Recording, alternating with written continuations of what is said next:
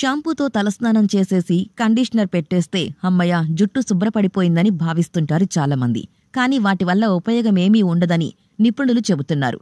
మరెలా? ఏం చేయాలంటారు అనేగా? అయితే ఇవిగో మీకోసమే ఈ చిట్కాలు.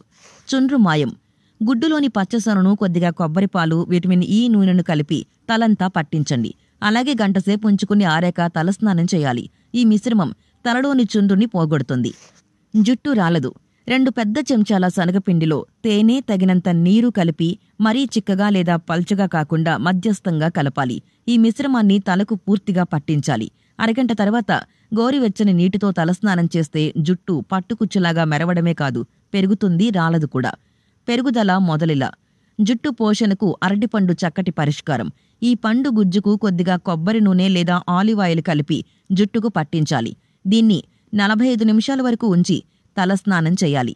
ఇలా రోజూ చేస్తూ ఉంటే చిట్లిన వెంట్రుకలు తిరిగి మామూలు స్థితిలోకి వస్తాయి. జుట్టు కూడా పెరుగుతుంది. ఓకే వ్యూయర్స్ ఈ వీడియో మీకు నచ్చినట్లయితే లైక్ చేయండి షేర్ చేయండి తప్పకుండా మా ఛానల్ని సబ్స్క్రైబ్ చేయండి.